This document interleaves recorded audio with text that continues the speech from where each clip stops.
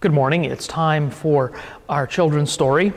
And I'm actually going to read a story or part of a story this morning as, par- as our story. Are you ready? Not on a train, not in a tree, not in a car. Sam, let me be.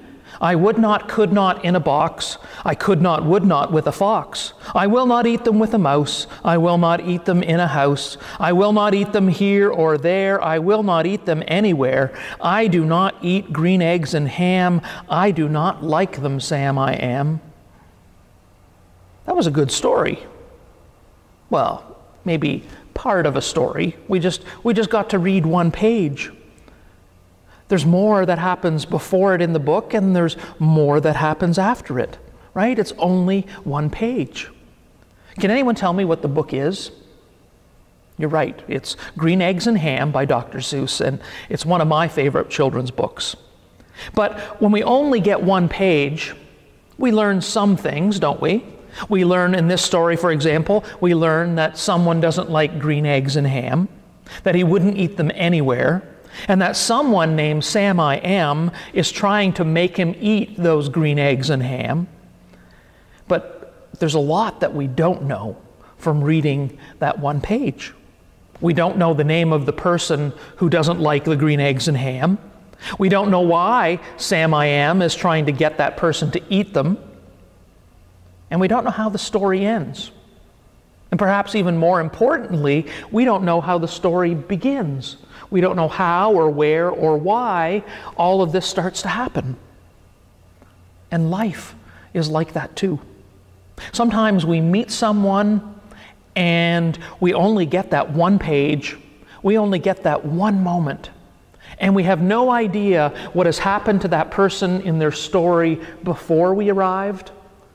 And we often don't know how their story will end after we leave. And yet, we often treat them as if we know the whole story instead of just realizing that all we see is this one little page, this one little moment.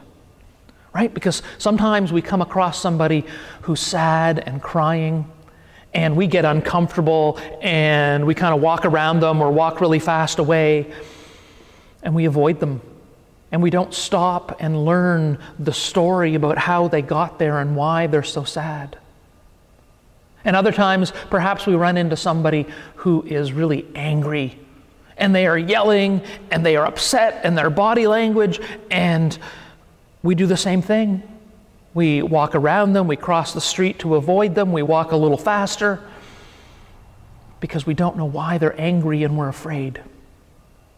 But perhaps if we stopped, if it was safe, if we stopped and learned more of their story, maybe it would help them calm down and feel heard and understood.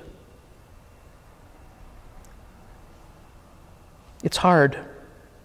It's hard sometimes to forgive other people or to treat them well because all we're getting is that one little page in front of us. But God, God knows the whole story. And that's one of the reasons why God can forgive us so easily.